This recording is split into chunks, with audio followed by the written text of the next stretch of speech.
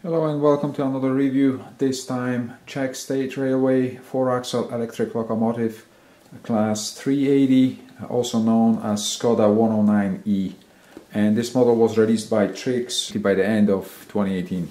Here's the label, item 22196, and this model is equipped with MFX Trix uh, decoder with sound. This model is also available in a couple of different paint schemes, included DB, red, white, and in 2019 Trix announced a release of a couple of other different paint schemes. Quickly about the packaging, sleeve, clamshell box, uh, and the model is jammed with two pieces of styrofoam on each side. At the back there is a small sleeve and envelope very similar to Piko professional models. But instead of a box, it's just simply a sleeve containing two manuals in several languages and warranty card. There is no uh, assembly manual and there's no additional parts um, anywhere in the box. Everything that needs to be attached to this model is already there and is ready to run. The shell or the body of this model is made out of metal, not plastic, which is quite typical execution for Trix and Märklin products. And at least from my perspective, I can tell small, barely detectable, but a difference in appearance, uh, general appearance and finishing between this model and typical plastic uh, locomotive. Overall paint quality, at least in case of my model, is okay with some significant room for improvement. The silver paint, as you can see, looks quite grainy and powdery, and I'm not quite sure whether this is the metal substrate or the quality of, of the paint itself. Um, and you can you can see some of the issues here. You can see the line kind of zigzagging here and there. And this is the cab on the opposite side, and you can clearly see the drop and uneven line. And it seems to be consistent around the around the model. This is one of the four doors and looks like this is the only one line here on this model that is actually perfectly straight. More markings, small prints and classification numbers. Very nicely executed. From scale perspective this is 0.7 millimeters pencil. So actually the print is quite good. And again for scale 0.7 pencil.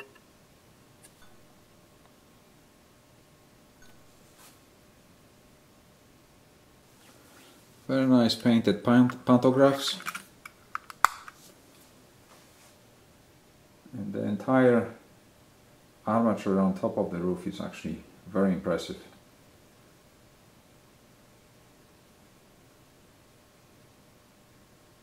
Maybe with the exception of a couple of elements. This one and this one here looks like these are uh, plastic add-on elements and I don't think they've been painted, they are just simply uh, silver plastic injection molded. Um, and you can see kind of the flow of plastic and a little bit of a like hazing and veins here, especially on this one here.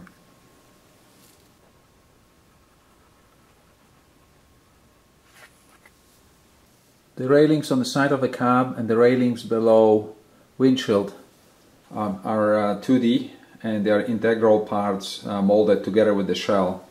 However, the ones here are 3D see-through. And even though they seems to be a little bit out of scale they look completely different. Windshield wiper is looking very nice and very nice and clear. Uh, windshield with very nicely uh, executed interior cap and there's a lot of details I can see through the window but if you take a look on this side everything seems to be okay here. And then can see clearly a gap right here on this edge.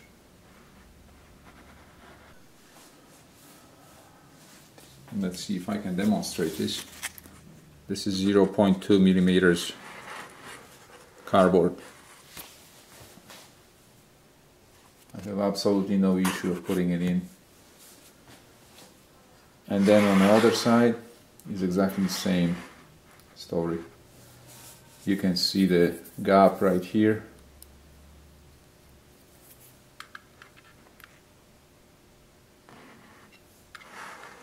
and then nothing on this side. This gap is actually really bad. You can actually see the interior through, right through the opening. But there's very nice diamond pattern here on uh, on the steps. Standard Märklin slash Trix coupler, of course uh, standard socket, coupler socket, you can replace the coupler for um, a different coupler of your choice and I already replaced it with Fleischmann. As you can see there is no option to add air hoses, they just simply end with this line here. And there is no option to replace the front guard for full prototypical uh, guard either. Very nice looking side frames and the suspension elements. A lot of details, even though it's only 2D mold.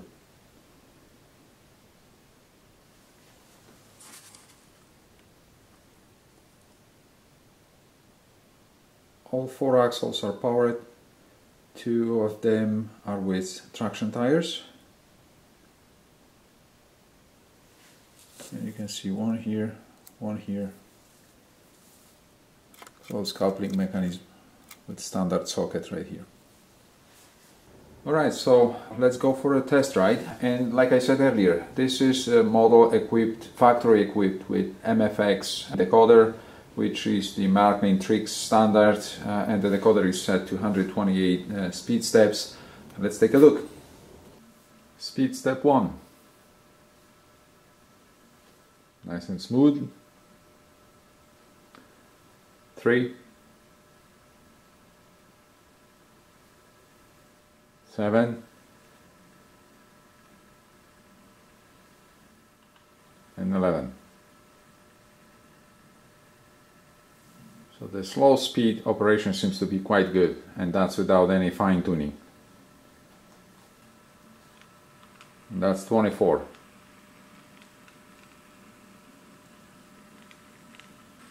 The drive seems to be a little bit louder than I expected it to be. But at the same time nothing really major.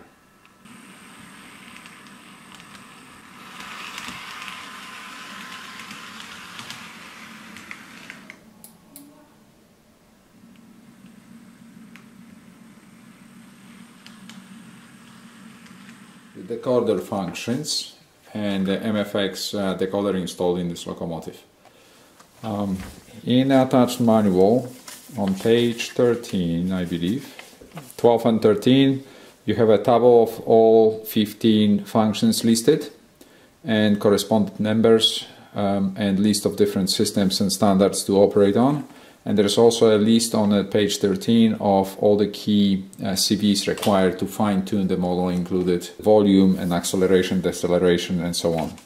There's a couple of other informations also about how to reprogram um, the address, long and short. And uh, let's take a look. I have my system locked to DCC only and uh, I have all the 15 functions already mapped out and uh, here are some of the differences. Uh, for example, the sound activation is actually in function 2, not function 1. Function 1 is actually station announcement.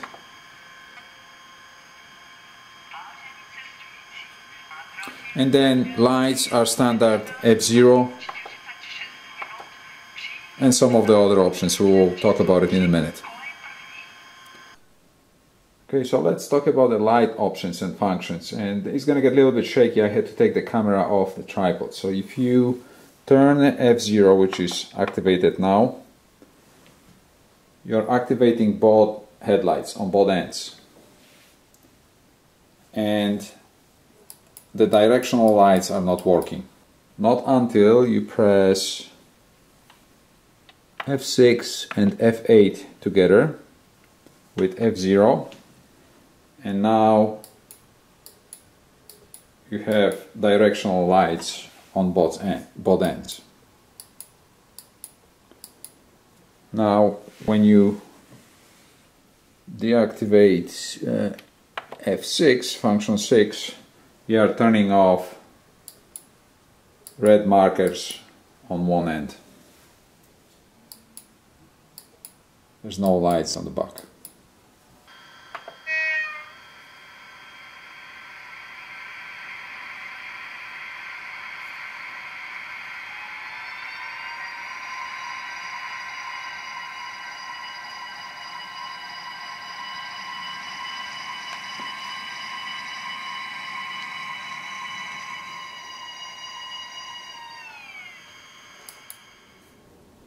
Alright, so let's take a look inside. Before we can open this model, you have to remove four screws. You can see them laying here.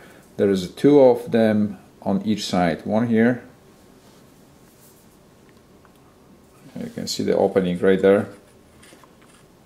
One right here. And then on the opposite side is exactly same story. You can see the opening and there is one below right there.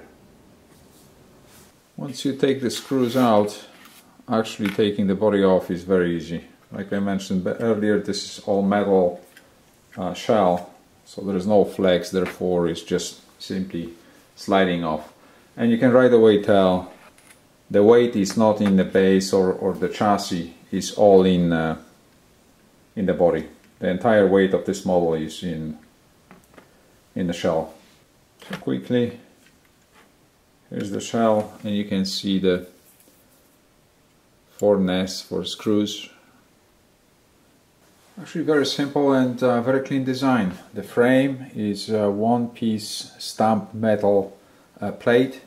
You have some of the plastic pieces attached from the bottom and the front. 5 pole motor, flywheel, two shafts distributing power to both uh, bogies or tracks LED circuit boards to provide lights and very simple clean electronic board. This is the uh, MFX decoder.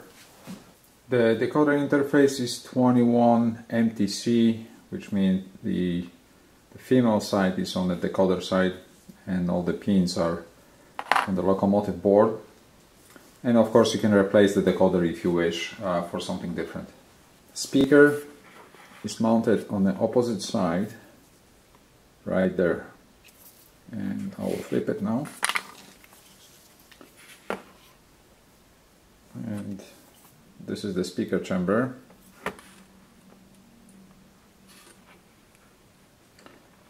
And you should be able to see the speaker on the opposite side behind the shaft. Very clean and simple design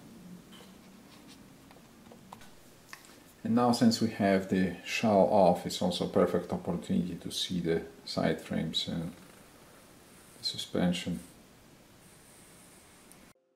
So here's my personal perspective on this model. If I take into consideration the quality related issues uh, specific to my model, I have no other option uh, than rate this model slightly better than okay. And I'm disappointed because from well established brand like Trix, I expected much better model than uh, what I received. To be a little bit more specific, the drive is performing really well, especially at the low speed is performing surprisingly well and that's without even modifying any decoder settings. Um, however, it's slightly louder than I expected and would like to see. The roof components and all the electrical components on top of the roof are looking fantastic and there's absolutely no question about it. The paint quality for my taste is spotty at best. I'm not really a big fan of that granular uh, finishing of the silver color, uh, not to mention the uneven lines around the doors and the windshields. My top two points of disappointments with this model are obviously the windshields and the gaps between the windshields and, and the shell on both ends of the model and the execution of railings just below the windshield which are just uh, 2D uh, integral parts of the shell. The factory-equipped MFX decoder is delivering pretty much basic 15 function, functions and of course, you can debate whether 15 functions is too many enough or just right. But the reality of the market today is that most of the 21 pin decoders are delivering or pushing over 20 functions. And uh, especially from a perspective of some of the recent announcements from Piko and ESU bringing new generation of decoders this year on the market, and some of them are expected to push uh, 30 functions the 15 basing functions without even interior lights are not really that exciting. From price perspective, this model is line price within about probably 20 euros with most of the four axle mainstream electric locomotives available um, on the market today. So in conclusion, is of course my personal opinion and is a matter of uh, personal preferences, but uh, I've seen this locomotive in operation in multiple countries and I've been waiting for this model to be released for quite some times. Uh, personally, I think uh, Trix had fantastic opportunity to bring to the market something fresh and unique, and uh, they pretty much short landed, at least for me. So happy model railroading. Thank you very much.